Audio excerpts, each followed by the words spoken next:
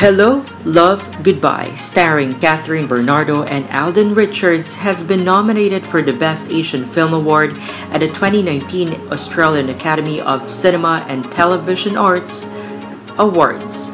Directed by Cathy Garcia Molina, the Star Cinema film highlights the challenges faced by OFWs living in Hong Kong through the lens of a budding love story between a domestic helper and a bartender. It features the first ever team up between Bernardo and Richards, and it became the highest grossing Filipino film of all time, earning more than 880 million after its premiere last July.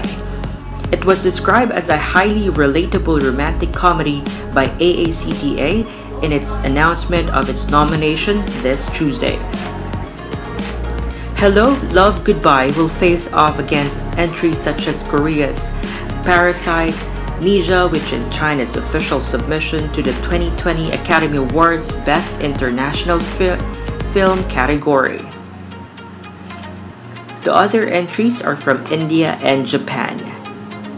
The Best Asian Film winner will be announced in Sydney as part of an awards ceremony scheduled for December 4. This is the third year that AACTA will be handing out the award which is part of their Asian Engagement Program.